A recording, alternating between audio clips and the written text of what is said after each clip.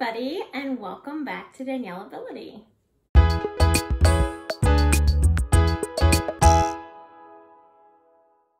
People always say you should never talk about politics and religion, and that has always really bothered me. I think we should be taught to have constructive and civil conversations about those things because they're really important topics, and if we never talk about them, how do we know that we're acting correctly and that we have the right way of thinking about things? And how can we truly love others and respect them if we never broaden our scope to include people who are different than we are?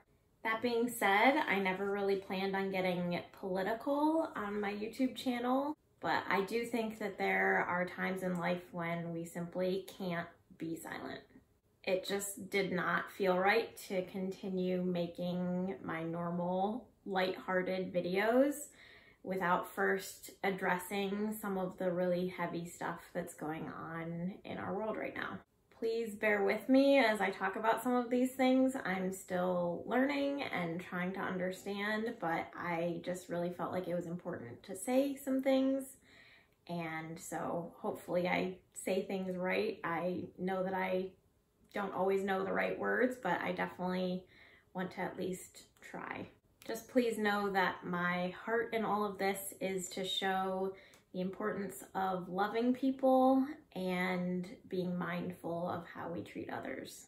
And to be honest, I don't think that this is really a political topic anymore. It's more of a human rights topic at this point. Being a member of a minority, that is the disability community, I have had moments when I've felt excluded or singled out or overlooked. But I think there's a huge difference between feeling excluded from quote unquote the conversation and feeling in danger for participating in it.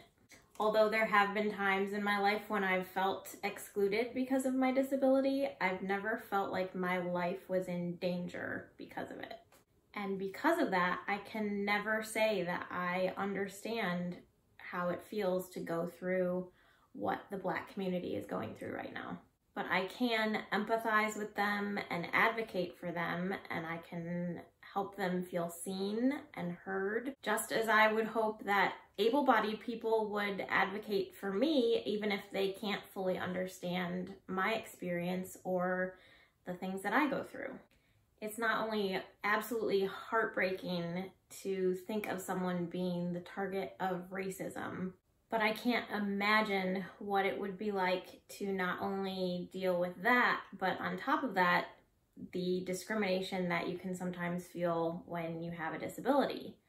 And a huge majority of the Black community that is targeted are people who have disabilities. No one should feel judged for anything other than their words and their actions, their character. No one should be judged by the color of their skin, the color of their hair, what their face looks like, what body parts of theirs function or don't function. End of story. I certainly don't have all the answers because I'm still learning and trying to understand through all of this, but I do know that I want to love people well. I want to speak out about injustice when I see it, and I want to help in any small way that I can. If we're not here to help and support each other through life, then what's the point?